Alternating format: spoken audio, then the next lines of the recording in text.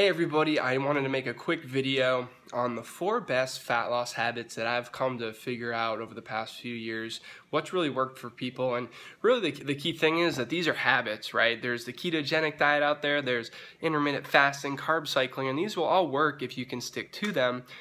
But those diets, unfortunately, are very hard to stick to, and when it comes to progress, the number one thing that we've seen uh, that kind of correlates the most with progress is consistency. So we want to set up habits because habits are something that don't seem too overwhelming, um, that you can do consistently for the rest of your life. And so really quick, uh, you know, I'm going to lay the rest out in more detail in my blog post, but here are the four habits. I'm going to read them right off to you. So, so first of all, consistency is the key. But number one, you want to make sure that no matter what you're doing, you're exercising at least 20 minutes a day. And basically what this means is you're getting your heart rate elevated and you're doing something steady for 20 minutes. Now there may be some days, right, where you get more than 20 minutes and that's awesome. You can give yourself a pat on the back.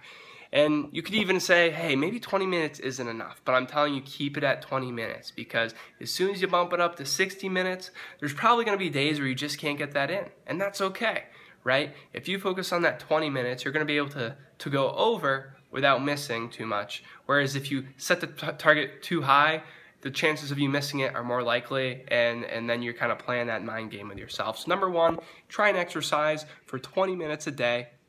And of course, that's very doable, especially if you're very busy. Excuse me. Number two, eat until you're 80% full. And eating to your 80% full is kind of subjective but one way you can kind of tell if you're getting to that point is if after your meal, you eat or you're full for about three to four hours. So if you're getting hungry at like one to two hours, you probably didn't eat enough. Um, and if, you know, after you eat your meal, you're like lethargic, you kind of get that, uh, what I consider the China buffet effect where you just like want to sit down and sleep, uh, then you probably ate too much. So try and find the happy medium um, and 80% full where you're satisfied. Um, number three is eat three meals a day. So by kind of getting in a consistent eating uh, schedule throughout the day, you're going to get more calories in, or at least you'll get them in consistently throughout the day. Most people who uh, I've found have been trying to lose weight or, or, drop fat for a long period of time actually don't eat enough calories. So by spreading it out in three equal meal, meals, you may be even eating more calories. It's going to help you fuel your body for the exercise that you're now doing. Um, and also, what I find is if you if it is more than you're eating, sometimes you even get even hungrier, right? But you're going to notice a boost in your energy. You're going to feel better.